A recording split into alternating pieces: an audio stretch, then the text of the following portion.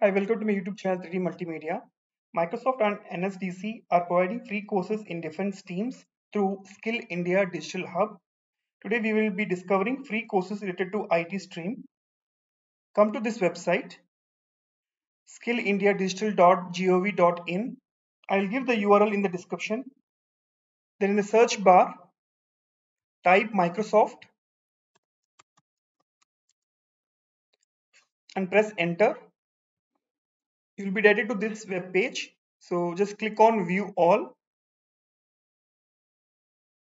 You'll be able to see the courses which are written to Microsoft but there will be some free courses and some paid courses. Just click on free courses.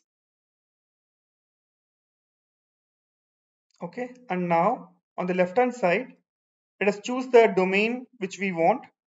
So in this we'll be choosing IT, ITES so that it will be related to our automation technology. So these are the courses available through Microsoft. So web development using Visual Studio Code, using GitHub Copilot with Python, use CSS styles in a web page, then use Apache Spark in Azure Databricks, troubleshoot name resolution issues in Microsoft Azure, troubleshoot inbound network connectivity to Azure Load Balancer. So you have these six courses here, which are free. You can choose any of the courses. So now let us choose any of the course like using GitHub Copilot with Python. Okay, so this course is for 22 minutes and the eligibility is minimum education should be 12th pass ITI or diploma. So upon the completion of this course, you will get certificate from Microsoft.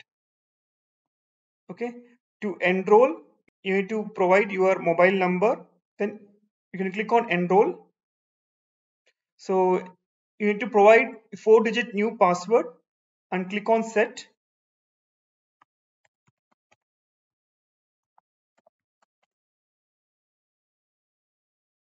We need to choose one option to complete eKYC process.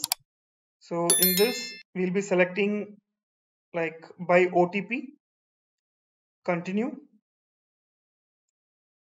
Okay. You have to provide your Aadhaar number and check I agree to validate my Aadhaar details and click on continue. Then you will be able to enroll for the course. If you like this video don't forget to subscribe my YouTube channel 3D Multimedia. Thank you